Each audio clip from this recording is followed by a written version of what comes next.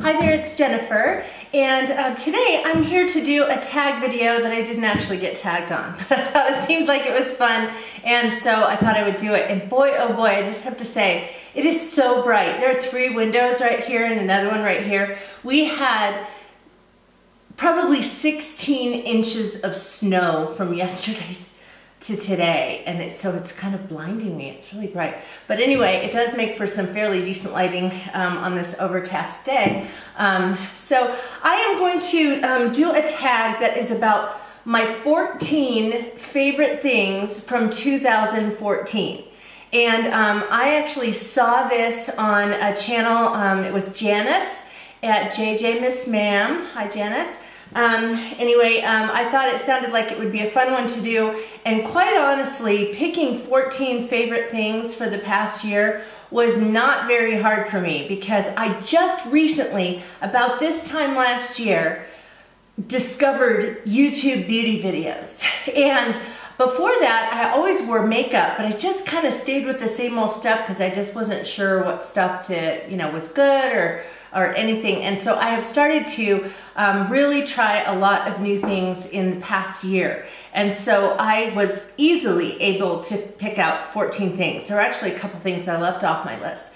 Um, the other thing is that of the 14 products that I that I chose, um, I wanted to make sure that that the majority of them were ones that I've been using most of 2014. And so there's only one of them that I, that I started using in November. All the rest of them I have used for six months or more in the past year. And these are truly my favorite things. I use them every day or almost every day. There are a couple things that I trade out. Um, but anyway, so, so let me go ahead and get started and show you. I'll show you the one that's the newest one of my favorites for 2014, and that is my Clarisonic Mia. Mom, once again, thank you. She gave this to me for my birthday in November. I use it every single night. It's wonderful, super exfoliating, um, really, really nice, and, um, and I love this. I wasn't sure that I would get into using something like this every single day, but I have been, and I love it. So, some other things, let's see. Oh, one of the things I discovered um, early last summer is this Aloxxi um, Hair Thickening Serum. And that's spelled A-L-O-X-X-I. I'm gonna link all of these, well, I will link my blog below. It's really easy, it's busybeingjenne.com. And I'll show each of these things so you can take a look. Um, but anyway, Aloxxi Hair Thickening Serum. I just had been having some trouble with my hair kind of being seeming kind of flat and thin. And this, you just put a, a couple little drops in your hand and rub it through um, before you blow dry it. And it really does add volume to my hair, especially because I live in a very dry climate and so we don't have very much humidity to add oomph to hair. So favorite, favorite. Um, okay, another one, I've been using this one since last spring, absolutely adore it. It is the Lorac Natural Performance Foundation. I first saw this um, on um, Lori Over 40. She did a video where she started out with nothing on her face and then, and she had some like red blotchy spots and stuff like that. And she was showing how well this covered things up and oh my gosh, did it ever. I just watched it and it was amazing. And then toward the end of the day, she came back on video and showed how it had stayed on. And I touch my face a lot, and so usually by the end of the day, a lot of my makeup is gone, but this is wonderful. I use um, the, the shade um, 4. Okay. Uh, another thing along those lines is a concealer that I have been using and loving, very basic drugstore concealer. It is um, by um, Maybelline and it's Instant Age Rewind. It's just this little tube. It's got a um, like a spongy thing on the end and you twist it for it to come out. Um, I put a I put a eyelid primer above and below my eyes and then I put this on top of it and dab it in. It's really nice. Along the same lines, what I put on top of this is, um, oh, and let's see what this is light pale. And, um, and the, the, another one that I use on top of it that I've fallen in love with this year is a Tarina Tarantino Hyper Light. It is, um, a highlighter. And so I put that, it's, it's got a little brush on the end, you turn the bottom and the product comes through the top. I kind of dab it right in those areas where I get dark circles. And I also get a little dark spot on the inside, um, like either side of my nose at the top by my eye. And so then I just um, sponge that in and, um, and it does a really nice job. And speaking of sponging it in, um, this is not a beauty blender or whatever that sponge is called that's $20 or whatever. This is just a run-of-the-mill sponge. I will look it up and I think I got it at Walgreens. I'll look it up and put the exact name down there. I know people say the Beauty Blender is just so wonderful and maybe one of these times I'll try it and realize that this falls far short, but I love this sponge. And um, I hadn't ever really used a, a, sponge before with makeup except to blend my eyeshadow. And I now, I use a brush to blend my eyeshadow now. But this is so nice and it's got, it's. I used it this morning so you can see it's got makeup on it. It's got this um, wedged area here that gets really nice underneath the eyes. And then the pointed end is really nice for going into the corners of my eyes when I'm putting this in. So I use this every single day.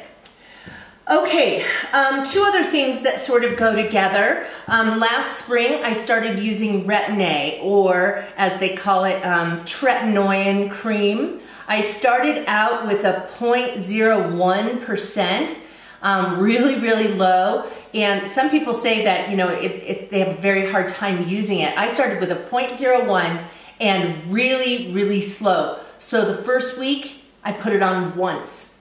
And the second week, I put it on two days. And the third week, three days. And so until I was up to putting it on my skin every single day. Um, then when I ran out of that, my doctor prescribed to me um, um, the 0.05 and I kind of thought, oh, you know, I'll be able to use it several days a week. I'm, I'm used to that other stuff. No, I started getting, you know, really sensitive and my skin kind of just um, peeling off and things like that. You have to go very slowly. So I, once again, one day a week, the, the next week, two days a week, and, um, and build up. When you use um, Retin-A also, you kind of, um, you can put it all over your face. You want to avoid the corners of your mouth right here. And you also want to avoid right below your, um, on the outside of each nostril. And I think I, I think I read or heard or my doctor told me or something that we have some glands or something that are right there and you do so you want to kind of avoid that area. You can put it on your eyelids and below your eyelids. You just want to not get too close to your eyes. So I just put a little bit at the top and underneath and then I just kind of dab it around and you know, it's going to go through the skin and travel and all of that. It has not been a year yet, and usually they say it takes up to a year to see a difference in this, but I do notice a difference. I use this and my homemade vitamin C serum. I, I started by just buying a vitamin C serum, but now I make my own. So I use the vitamin C serum in the morning on my face, and then I use the Retin-A at night, and after I use my Clarisonic. Um, but this I have I've noticed right away within the first few months that it gave my skin a much more fresh look. And it just seemed like, because both of these have, um, uh, have exfoliating qualities. And so it just seemed like it was really just getting, you know, getting rid of a lot of that um, skin that needs needed to be sloughed away and just made my, my face just look really nice. I would wash my face at night, take my makeup off and look in the mirror and go, wow, my skin looks pretty. Um, and so, um, so anyway, um, I, I wish I had taken before and after pictures, I, or, or before pictures, I didn't. Um, but at age 51, I think if this kind of helps me to continue to look youthful over time that, you know, um, I've seen enough people who've had really great results from it that I'm not crying that I didn't take before pictures. But I love these two things, my tretinoin, um, Retin-A, and my um, vitamin C serum. Okay, a few more, well, let's see, so far, one, two, three, four, five, six, seven, eight. Okay, we're on number nine. And that is um, a blush that I started using last June. It's by Tarte. It is a cheek stain and it's in the shade Blushing Bride. I got this in a BoxyCharm box. This is actually still the first one that I have, although I have purchased another one, but this stuff lasts a long time. So what, I started mid-June, July, August, September, October, November, December. Yeah, over six months. So, and it's like a crayon sort of thing. I've got that much left. That's still quite a lot. And um, anyway, I wasn't sure how I would like this over time because I've been so used to using powder blushes. And so to have a cream one, even though I liked the color at the beginning, I still wasn't sold on it after a month of using it. Because I just thought, oh, I kind of like using a powder, powder blush. And this one, you know, you kind of swipe it on. I put a little bit on my forehead, a little bit on my nose. And then I take um, just a, um, a stippling brush and just kind of gently blend it in. It works better than trying to use your fingers for that. But I love it because, well, I really do like the, the color. And I'm still using it. It's winter and I'm still using this. Um, but I really like um, the fact that it stays on long for a long time. And I think because it's in kind of a crayon formula, it does that, stays on better. Um, so yes, love this one. It's by Tarte. Uh, another one that I have um, loved for a very long time this year is my Naked Basics Urban, De or Urban Decay Naked Basics eyeshadow palette. It is all matte and neutral shades um, and really, really nice here. Cover the mirror so it doesn't blind you. Um, one of them I've seriously hit pan on, you can see. And so what I did is I purchased just a single eyeshadow shade, the same color, so that when I, um, so I don't have to waste all this stuff because this has lasted quite a long time. Um, it is, yeah, just really nice. Um, all of the shades blend really well and um, I'm in love with this. Okay, next one. Um, this is another Tarina Tarantino. I did get this in a BoxyCharm box. I used one all the, all the way up and bought another. This is a Tarina Tarantino eye pencil. It's called Eye Dream Highlighter Hyperliner. It is in the color Cute Robot, which is blue. I never wore blue eyeliner before couldn't imagine that I would wear blue eyeliner. But I was reading about it and heard that um, that blue eyeliner is supposed to look really good on a lot of people regardless of your skin tone because it makes your the whites of your eyes kind of pop. And I love this. My mother even uses this now. She didn't think that she would be into um, blue eyeliner either. And um, it just looks really pretty on her, makes her eyes look really green.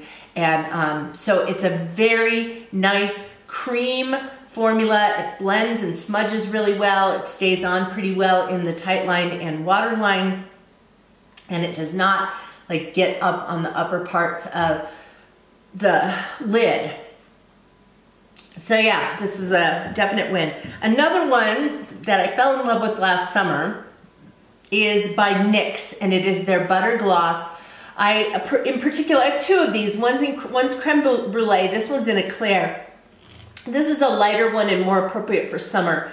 I decided to choose this one for my favorites because I used it for so long over the summer and the creme brulee I just recently got. It's got a little doe foot um, applicator on there, really smooth, does not dry out your lips, and it's not sticky. I just hate sticky glosses. Here, I want to put some more on. I think I just stabbed myself below the lip. Yeah, so nice. Smooths on really nicely. So this is NYX NYX Butter Gloss in the shade Eclair, although they do have several others and I like my creme brulee as well. Okay, so we're getting down to number 12, which is, um, a, this is a brow um, pencil. I think I got this one in an Ipsy bag last spring. It's lasted me forever. I'm happy to buy it again, but I still have it. It's IT Cosmetics Brow Power in the shade Universal Taupe. It has on one end um, just a pencil thing here that screws up. And it's not super creamy, but not super, super dry either. Much I still have left. Let me show you this. Look at that, Look how much I still have left. I've been using this probably since last April. Um, I love this, it's a great color and um, you kind of scribble it on, you know, kind of put it on the, it's really good color for, for me and, you know, having blonde hair and it's just the perfect color for my eyebrows. And on the other side, it has a brush to blend it in. Mine has been long broken. so I use a, another little spoolie I have and I kind of blend it in with that. But it has a, a blending kind of a, looks like a mascara brush um, on the other end. So I love this, I use it every single day. I had been trying some other brow pencil, brow makeup kind of things um, before this and just hadn't landed on something I loved. And so this is really good. And the last one, um, drum roll, of my uh, 14 favorites for 2014 is this mascara. I talk about it all the time. It is Revlon Bold Lacquer. And um, I got this one in, uh, not this particular one, but I tried it for the first time because it was in a BoxyCharm box last June. Had no high hopes for it at all. Most um, mascaras I try just leave my eyelashes just looking thin and short. And this one was so amazing.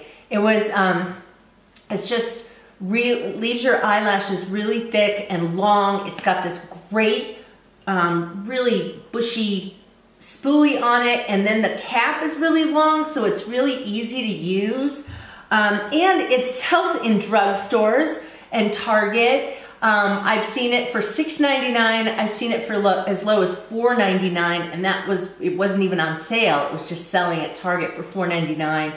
So I actually have several of these in my backup stash. I do not get the waterproof formula. Some people have said that they can't get the waterproof formula off. Um, and this one stays on very nicely, but it does come off easily with um, just with um, makeup remover.